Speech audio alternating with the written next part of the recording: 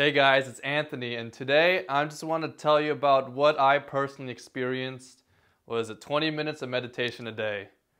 Now, there's a lot of benefits. It's like meditation is like a, a drug, like a super drug that you take when without any side effects. Like people have said that it improves gray matter, it what it improves focus, helps depression. Apparently, I searched up it improves irritable bowel syndrome. And what I wanted to make this video about was what I personally experienced from doing it. You know, I logged in about what 65 hours, and that's actually what I use now is this thing right here. So as much as I like using Headspace and Calm before, I just use like a typical timer now, and it's what it does is it helps me not check my email right away on my phone. All right, so the first thing I wanted to talk about was is like the things that you would experience meditating, but people don't actually put online. And the first thing that I want to talk about was you get this weird, rational, I don't know, this robotic perspective, like an added perspective to yourself. So imagine something like, you know, you're talking to your friend, you know, you're, you're excited, you have an exciting story to tell, you just got promoted at your job, you feel excited. And what I noticed was after meditating for, for like about 60 hours, in total, I get this like weird robot, this weird objective thing. Like imagine this soul-like creature just coming out of you and it's just watching this conversation of you having fun with your friend and it's just chilling up there, you know, watching everything with no emotion at all. And that's what I get. I just get the second perspective of me watching myself being all emotional. And it's really it's kind it's kind of awesome, but it's kind of weird at the same time because now I have two perspectives. So if, like let's say my dog is crying, I'm gonna be like, oh, what's wrong? What's wrong, Ace? And I'm gonna get like a an objective. Like, oh, my dog is hurt, and now I am feeling worried. That's kind of the stuff I'm talking about. I don't know if it's gonna happen to you, but it's happened to me. But th- that's what I think people mean when they say that you're able to control your emotions because now that I'm just acting in the moment. I can see myself, you know, being emotionally driven, which makes me have, you know, a better rein on my emotions. Now, the second thing I tested out with meditation was so I tried doing so I'm I'm a I'm a freaking nap taker. You know, I love naps. I was taking naps in high school, taking naps anywhere in college. I remember I was taking a nap in where was it? In Texas and I was just, you know, just like a like a sleeping on the, the cement. And a police officer just came up to me and said, um, are you okay, sir? And I'm like, yeah, I'm okay, but I was trying to take a nap here. Anyways, so I wanted to see the difference between taking a nap and how you felt after that, and taking instead of a nap, I did meditation instead. And what I noticed was after taking a 20 minute power nap, you know, you feel a lot more energized, but at the same time you feel groggy. So you get this energized grogginess. Whereas when with meditation, you get this peaceful grogginess. And I'm, I'm talking about this is when you do meditation when you're tired, like during the afternoon. And this peaceful grogginess is like imagine like you're like a like a Buddhist monk, all right? And you just you know you came out of a waterfall but you're still tired but you reach enlightenment. That kind of that kind of jazz is what i'm talking about.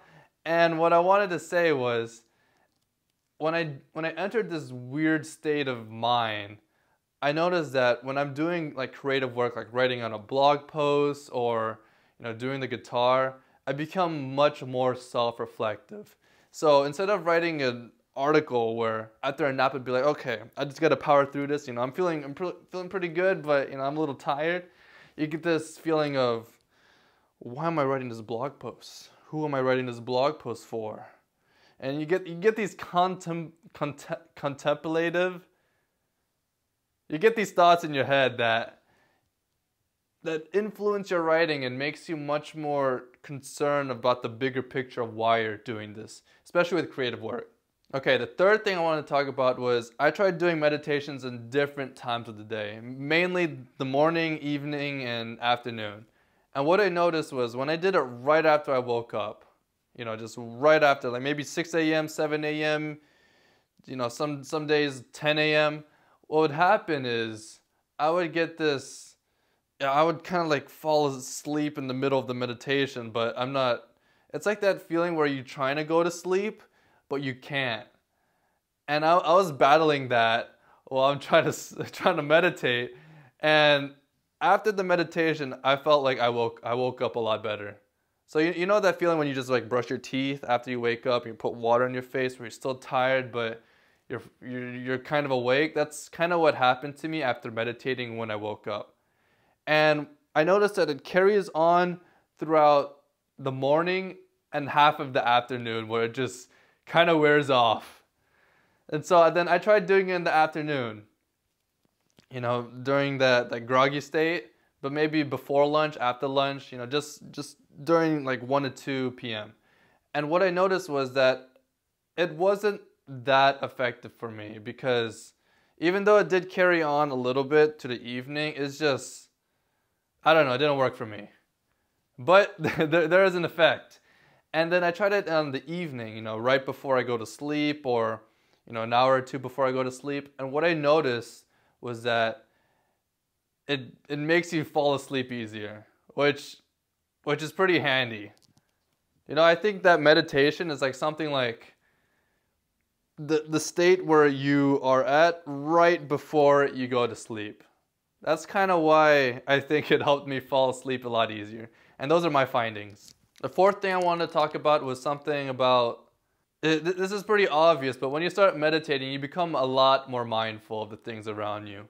Now this is, this is something you probably feel on pretty early on, but what happens is when you're just walking through, you're gonna start paying attention to, it, it it was kind of annoying at first, but now now I'm kind of starting to deal with it. You know, just like the feeling of the sweater on your arm, or maybe the wind that passes by your cheeks, or something like uh, you, will notice that there's a there's a spot on my wall that's that's green, and you just start paying attention to a lot of these these little details in life that after a while, when you, I think it's really nice when you start looking at things like nature, you know, like flowers or something, because you start to appreciate the little things in life. And now that sounds kind of corny, but I think that's kind of true when you start meditating, because in the end, all you're doing is just sitting down doing nothing, just focusing on your breathing, you know, just the little things in life.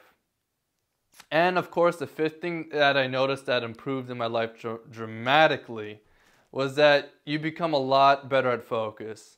Now, when I first started meditating, I was like, man, this is, I can't sit down for five minutes. My back is, you know, my back wants to bend over all the time. I just want to, you know, just start thinking about thoughts. There's a lot more being, you know, trapped in your thoughts and just thinking of all the fun things rather than just sitting down and listening to your breathing. And what I noticed was that over time, you know, maybe 10 minutes, I, I still bend my back from time to time, but I'm better at, I think my back strengthened, hopefully. And now I could do 20 minutes, not easily, but I'm, I'm able to be pretty good at it. And I think this helped translate it to my life where now I can do something like two hours of working or deep work, four hours of deep work, you know, that kind of good stuff where I'm able to put in be much I'm able to be much more focused in what I'm doing. So if I'm trying to learn the guitar, instead of just, you know, sometimes it's good to be lost, you know, playing and just having fun, but at the same time, it's that focused effort that helps you improve. And that's what I notice when I do my work when I'm writing a blog post, creating a YouTube video, or just doing something like, you know, playing the guitar or doing singing practice or something. That's I think that when you do meditation over time, you start getting better at focusing. And when you get better at focusing at a certain goal, that it's going to be a lot faster to achieve that goal. And that's all for meditation. Maybe you learned something new. Maybe it's just a rehash of what you already knew. Let me know in the comments below if you found it new, helpful, whatever. And I'll see you later.